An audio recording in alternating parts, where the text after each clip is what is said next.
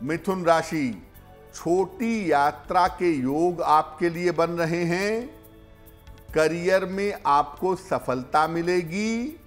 धन लाभ के अच्छे योग आपके लिए दिखाई दे रहे हैं। भगवान शिव को अगर जल अर्पित कर दें तो आपका दिन और भी ज़्यादा बेहतर होगा।